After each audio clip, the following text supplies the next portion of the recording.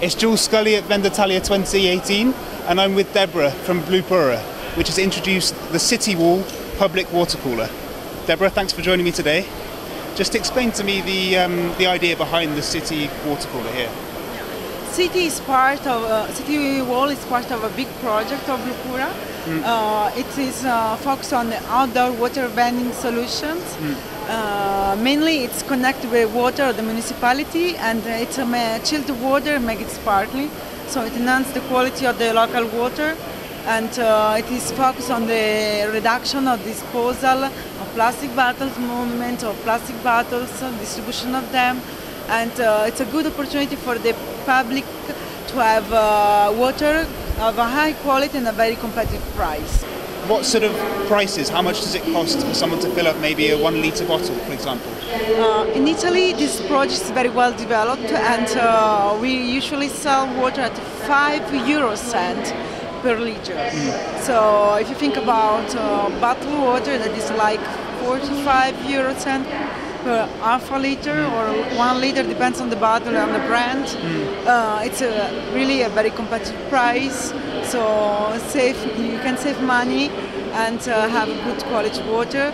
It's uh, very developed in Italy, but it's now going to be popular also in Europe. I know some projects are going to be developed in London and uh, as well in Paris. Sure. So the trend is going to be very popular and the market is starting to demand this kind of product. Yeah, because this year I think especially there's been a focus on single-use plastics and people throwing away their plastic bottles. I mean, yeah. what's the reaction been from consumers seeing these machines in public spaces?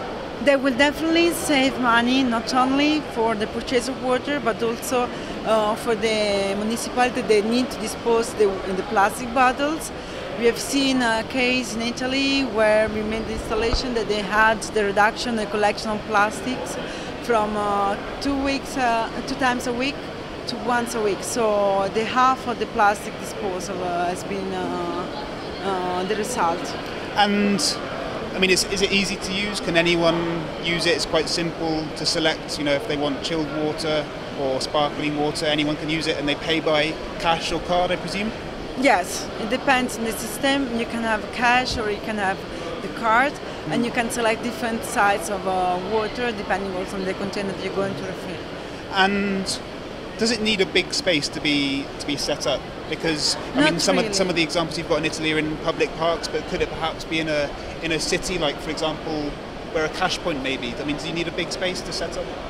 Not really. This one is a system that is uh, realized and meant to be installed on existing buildings. Mm. We do also have uh, freestanding solutions with uh, one point of supply or two points of supply and big screen for uh, advertising and promotion of the water. Mm. And uh, so depending on the use and uh, on the needs of the customer or the municipality, you can have different kind of uh, design mm. that can be installed and so different uh, capacity also cooling from uh, 150 liters per hour cooling capacity to 280 liters per hour cooling capacity and uh, always having sparkling water and cold water.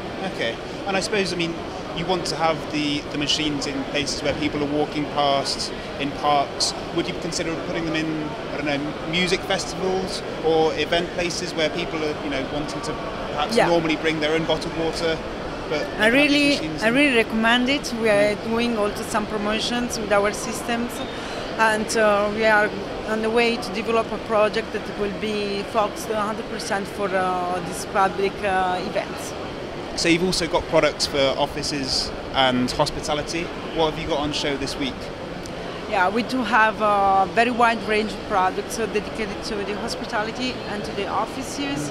Uh, what I would uh, really recommend as a new product is the Blue Soda Plus that can be with uh, 30 liters per hour or 45 liters per hour cooling capacity mm-hmm. and can make cold water, light sparkling water, and sparkling water. And through the blue LEDs, you can have the alarm of the CO2 when it's uh, over and uh, when you have or not the, the electricity. So if the unit is working or not. Okay. And your machines tend to be made of, of aluminium and steel rather than plastic. Is that something you've consciously tried to develop to reduce your plastic usage? Yes, this is. Uh, we started in this way. This was a good solution for making good design and high quality heavy duty solutions. And we are keeping uh, this uh, idea and so we are following this, the philosophy since the first day of the company that was is now 10 years old. Yeah, I was going to mention this is a big year for Blupura. You're 10 years old. What have been some of the major uh, milestones or achievements that you've had to overcome in, in the past decade? What's been some of the standout products? We have been the first in our industry to manufacture water coolers that were working with the natural refrigerant gas, R290. We are proud to be in the list of uh, Greenpeace as a good company uh, that was uh, making this decision. We are still uh, one of the sole that uh, is doing this, uh, this kind of solution and we are proud to be very proactive for the environment.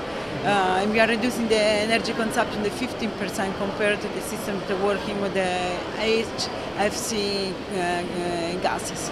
Okay, and one final question. What, what have you got planned for the next 10 years? What are you focusing on going forward?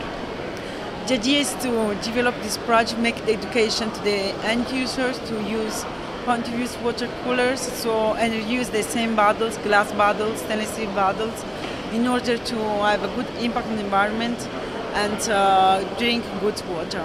Okay, well I'm sure we'll have more on this on FoodBev. Deborah, thanks for joining me today. Thank you to you.